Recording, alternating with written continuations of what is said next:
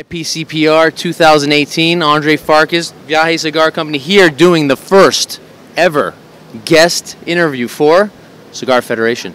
How's it going? Just living the dream. Just living the dream. Very excited about this. I want to see where it goes. We don't know. This is different for me. I'm not used to this. Oh, the interview or I mean like life in general? Both. Both. All right. I didn't know if I was supposed to talk to you or to this beautiful picture behind us of this stunning gentleman right here. That, that's not actually me. That's uh, that's a, a, guy that looks very similar to me that works in the fields in Nicaragua. I'm not really sure what he's what he's doing, but uh, uh, that's the best I can tell you. It wasn't my idea. I can tell you that. No, well, I think it's very flattering. It captures your likeness. Well done. Oh, Excellent. You. Well, beautiful booth this year, huh? Yes, it's. Uh, I, I, can take no credit for that. Uh, Max and uh, Phil and the guys uh, they put this together, but it really I think highlights uh, what we're going for now. We really want to promote Aganorsa tobacco, and, and that's what makes us special. And, and I think the booth, you, uh, you get that. I think even Helen Keller understands that. That's what we're promoting here. And I'm sure at some point you guys will pan around and show uh, show what the, the booth looks like. But that's a great um, segue into Aganorsa Leaf and your rebranding. Maybe you can talk a little bit about that because I think that maybe there, you know, with the change, of course, there's always going to be people with questions. Sure, absolutely. And so maybe you can clear up a lot of what's going on right now. Absolutely. By the way, the worst part of the booth is what you're looking at here. The rest is much nicer than this. no, again, we, we want to. Uh, there's th generally three different types of, of companies. Uh, there's companies that uh, a lot of based on cult of personality. They're very associated with the owner. There's companies that are lifestyle companies, mm-hmm. and then there's companies that are, are more product based. And, and with us, what's special about us is, is the tobacco that we grow. So we wanted to, to make that the highlight of the of the brand and well, the company. Well, as someone that uses the tobacco, I can definitely agree with what you're saying right now, 100%.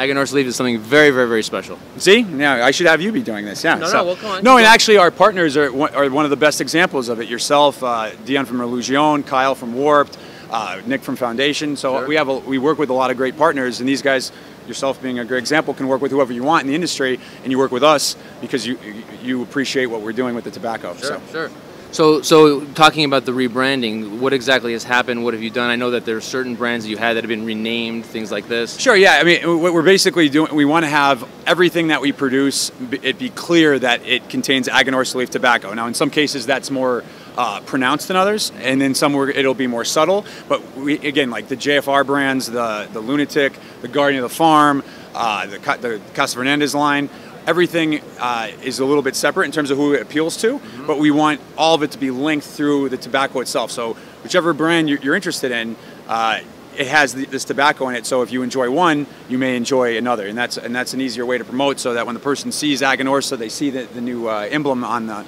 uh, for the for the company. Sure. They go, oh well, I didn't know that they did this. I like X Y Z. I'm going to try this now see. I see. Well, you know, talking about Aganorsa Leaf, maybe you could kind of, you know, give the viewers a little bit insight as to what makes Aganorsa Leaf so incredible. So there's, I would say there's three, three things about uh, the tobacco that makes it special. One is that we, we have uh, seeds, Corojo 99, Criollo 98, the seeds we grow. We're not growing hybrids. Uh, Corojo 99 is the same seed that's grown in Pinar del Rio, where the best Cuban tobacco is from. Mm-hmm. So that's, uh, that's a crucial aspect of our, our signature flavor.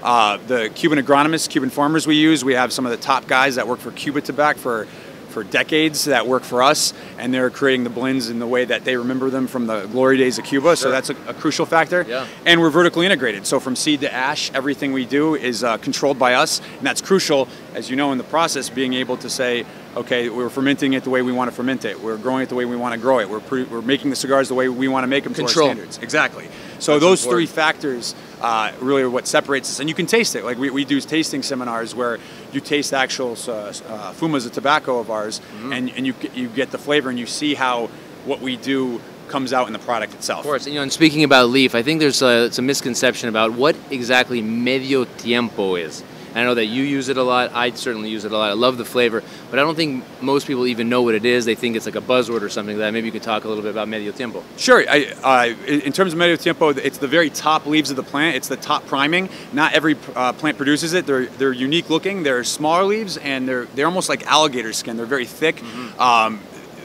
to give you an idea, we produce 14,000 bales of tobacco a year. Out of that 14,000, maybe 50 to 80 will be medio tiempo, so less than wow. 1% my god. Oh, Look, tried a, Aganorsa gue- before? a guest appearance. I don't know. I just wanted to show If- up. look I'm- at this. I'm Max Fernandez of Aganorsa. Incredible! You just dropped. You just happened to be walking by. Just This is incredible. this, wow, uh, fantastic. What is this this? Fuma, Because I don't think Andres had enough of our tobacco. You were saying the medio tiempo. So, So- how, so- what percentage? So it's less than one percent. No, it's incredible, You run the math. So so that's again another great example of our advantages to produce that level of tobacco to be, to be able to use that in a blend. Sure. Uh, there's very few people that have that capacity. And how would you say it affects the blend?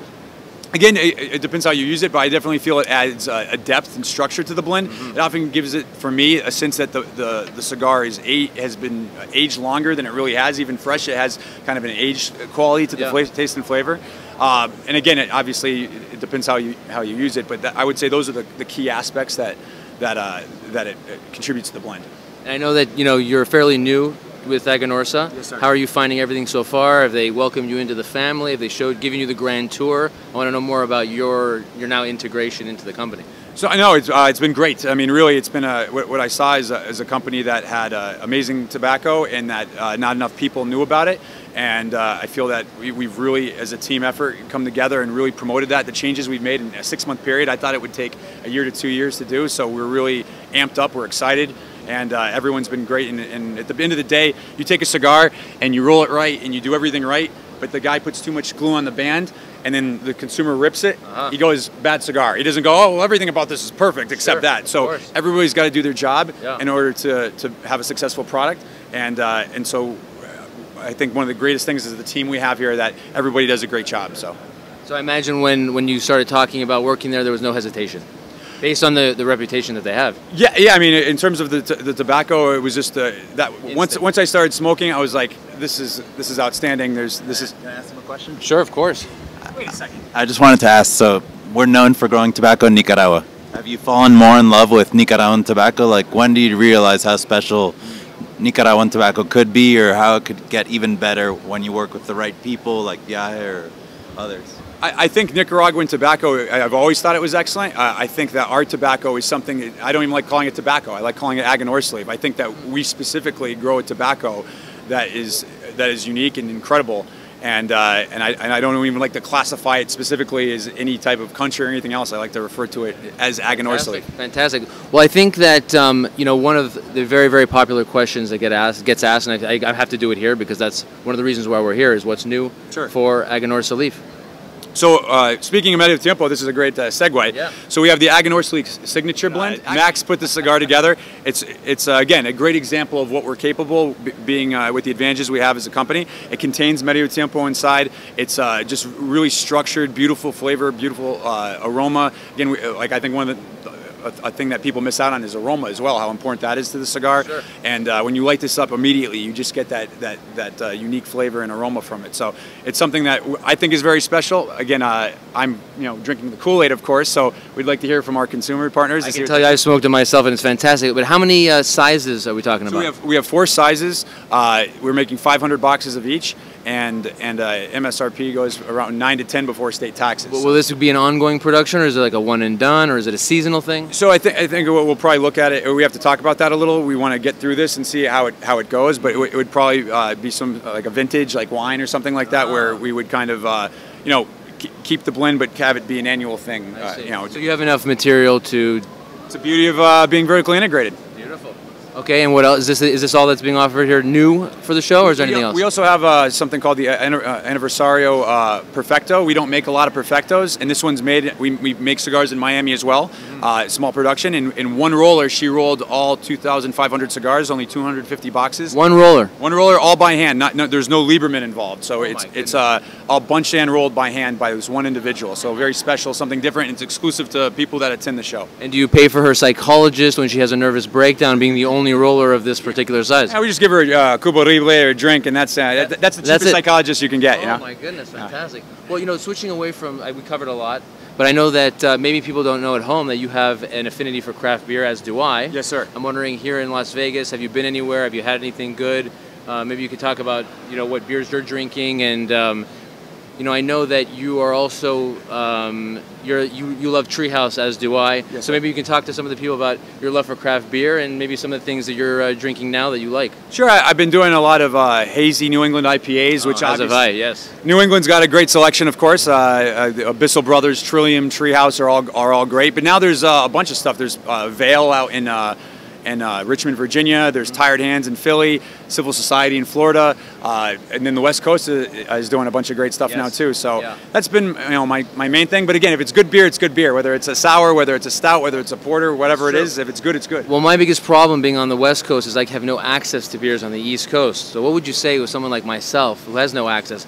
How do we go about getting beers like you know to, to our area? Mules, find a good mule. Find a good mule. I, I, I, I, I, je- I make a joke because he was very, very nice. He got me some Treehouse, so- something I'd never tried before. So again, I have to thank you for that, and I think in, I in turn sent you a couple of beers. You did, you did. You sent me a, a wonderful selection of some delicious things, and uh, none of it I'd ever tried before. So that's that's the beauty of this industry: cigars, beer, the trading, the, the camaraderie. That's the only reason. That's the reason we're in this. That's the reason we're in this. It's fantastic. Well, lastly, how do we get in touch with you? Are there any at so and so that so that people can you know find you maybe on Instagram or? So for the for the company, uh, for both Instagram and uh, Facebook, it's uh, Aganorsaleaf. Look us up, and then for myself, uh, Terence uh, Aganorsaleaf for uh, Instagram, and then Terence Reilly for Facebook. Be happy to uh, follow and uh, shoot me any questions. I'm always at your service. Max, what do you think about this so far? What do you think? How is this going? Terence will be on Cigar Chat soon on the Cigar Fed podcast, but I'm, Wow. I'm just excited how Terence tells the story of what the leaf is. No, it's something special for our family, and like now the product, and it shows that with the Aganorsa Experience seminars on the road. There's a lot of ways to experience Aganorsa that you haven't had before, so you can Well, that's it. You want to touch on that a little bit because I know you are on the road quite a bit. Yeah. So again, what we want to do is people. Everyone says they have the best tobacco. Everyone says that they, you know they do things the best. Well, we want to show people how we get our signature flavors. So we actually uh, do events where. Uh, we smoke fumas of uh, Corojo 99 and Criollo 98, and they and they they see the, the difference between those, how those t- two tobaccos are very different flavors, and then those two tobaccos that, are, again are incorporated in basically everything we do.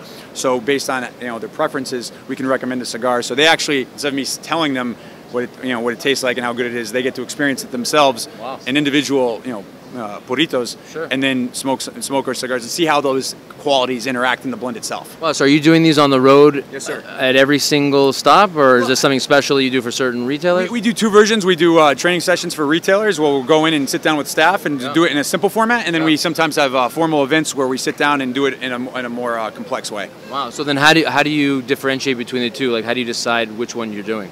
Is it something that the retailer signs yeah, up more, for? Yeah, it's more something uh, like some retailers. Uh, you know, uh, we, we, we have they get a bunch of people in and they have a, they have a more uh, uh, formalized event. And sometimes it, it doesn't take much. We bring in the fumas. We sit down. Hey, bring your staff over. Let's uh, smoke some and and uh, educate them on, on our leaf. How do you like this? This was a. Was you think this is a good idea? Yeah, I think it worked out well. Max made an appearance. He bought, it was zany. You know, how often you get a zany interview? I don't know. but I think that I bring that out, out of people, Yeah, and you so do. yeah. So maybe this is maybe the first of many. Yeah, maybe we can maybe we can contract. long-term future for It's a possibility. cigars on the West Coast. Listen, you know what? I do cigars, and maybe I can also start doing some interviews. I not a bad idea. Maybe I bring you out of your shell, something like that. I make My- out of my shell. Yeah, Yeah, I make, I make people feel comfortable. it was like a tortoise. You yeah, know, and that's right. Now look at yeah, you. Yeah. Oh my God, it's like a butterfly. Incredible. well, I think we've covered a lot. You know, Yeah. we don't want to give them too much, Yeah. just enough. I think you know. I think put a fork in this. We're done. All right. And any closing words? Aganorsa leaf. Leave it at that. Yeah. All right, that's a wrap. Thanks, guys. See you at the next one.